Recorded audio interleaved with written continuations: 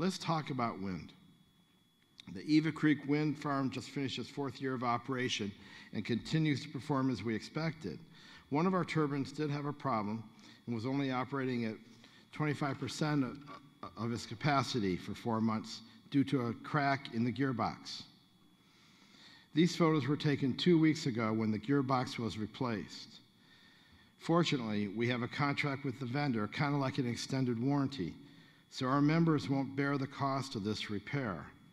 Um, I'll tell you that um, having to bring a crane across the river, it took six railroad cars for the crane, it took two cranes actually. Um, it was quite a project, um, and Senvion did a great job with it. Now, Golden Valley has been approached by two other wind producers to take more power. Golden Valley wants to be a green cooperative. So Cook Inlet Region's Fire Island Phase 2 wind project is in the looking glass, and so is the Delta Wind Farm.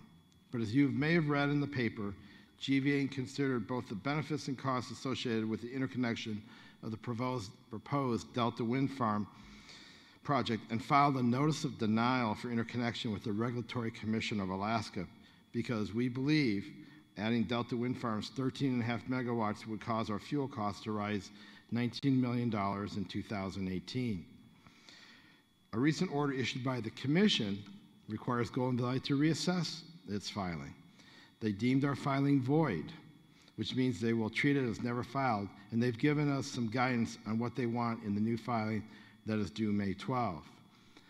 I'm certain that dialogue and communication and going back and forth is going to lead us to the right decision in this matter. If we can bring on Delta Wind Farm so that it does not economically harm our members, we're all for it. Someone's got to show us the numbers. Someone's got to show us we're wrong. We're looking for that opportunity.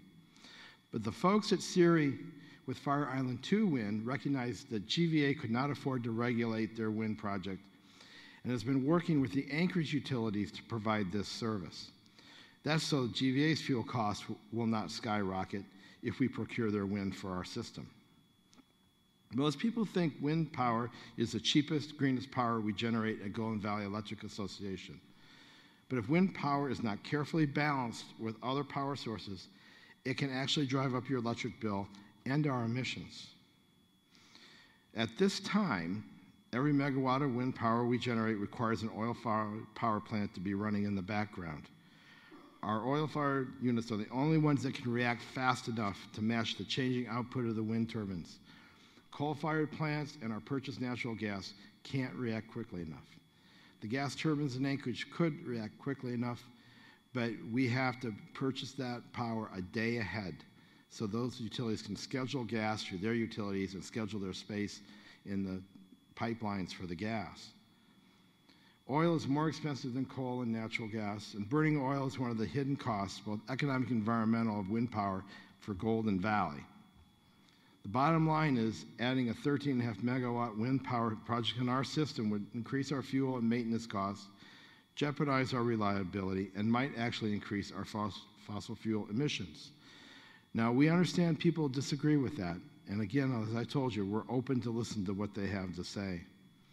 Cook Inlet Region's wind project would be backed up by the Alaska Southern utilities, which would reduce the impacts to our system. That's why we're in serious discussions with CIRI. We're very interested in renewable energy. And there is another green power project that has gotten the green light from the board of directors. It's a solar demonstration project to be built in South Fairbanks this summer. Here's Golden Valley's Pete Mondelli to tell us more. We are planning to build a half a megawatt solar array.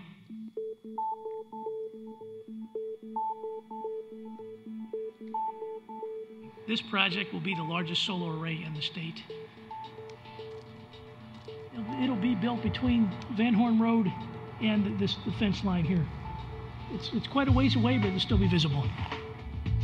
The size will be a two and a half acre footprint with 1,600 panels oriented to the south with, with um, one inverter per four panels. The genesis of the project was uh, first we looked at a community solar project. We, we talked to two different vendors, but it also turned out to be too cost prohibitive right now. So then the, the, the board of directors, in conjunction with our CEO, Cory Borgeson, decided to do a Golden Valley uh, sponsored uh, solar array. It's, it's being titled a demonstration project to see how it uh, reacts with our system and what uh, the cost will be to maintain it. And as the price of solar panels comes down, we hope to look at doing something along the lines of a community solar in the future. Community solar is a concept that's taken the wings in the lower 48 and is a lot of very popular in that if you cannot put something on your roof, you have too many trees, you live in an apartment, you can buy shares in a solar array. So you you uh, would benefit. That would be that would be applied as a credit to your, your the cost of your power. Even though we don't get a lot of sun in the winter, the uh, the weather and light data shows that it is still advantageous to do this. There's a lot of interest in the community for solar, and we're trying to, to, to prove that it, it is a valid concept up here in the north.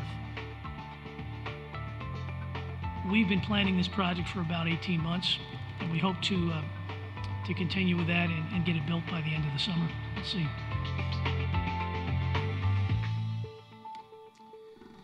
Thanks. You know, we heard from a number of members last year that they really wanted us to, to work on solar, and we did it. Uh, we listened. Um, as we go across uh, the country and, and attend uh, electric utility programs, this is not just here in Fairbanks. Members are asking for solar all over the United States. Um, so I'm glad that we came to this point. It's a half a megawatt uh, solar panel uh, system that we were going to put in. We sized it smaller. There are many people that would like to have the, what we call the community solar, where, as Pete explained, you can buy in and put your money in and invest in it and get a return on it as well. So we wanted to make sure that there's an opportunity for a solar project. We weren't going to preclude it by doing too big of a demonstration project. Um, you know, I, I've always told everyone the key word in community solar project is community. Anybody out there that wants to do a community solar project, put it together and bring it to us. We're more than happy to work with it. Uh, we've actually been contacted by somebody out in Salcha that wants to put in a one megawatt solar farm. So um, we're very excited about that. But I also want to tell you that I think we've got a solar community here, and we call them our SNAP producers. Uh, these are folks that come to Golden Valley and want to put some type of renewable system in their homes or around their house. Um, most of them are solar. There's a few wind turbines. Um, and out in the room, we had um, Alvin and Micheline Patterson, who were in our, in our booth to, um, explaining how their solar array worked. Uh, they put an 8 kilowatt solar array on their home, and they answered many questions. I had a wonderful time visiting with them tonight. Currently, GVA, GVA has 165 members participating in our SNAP program, and I would call that a community solar group. So let's give them a hand.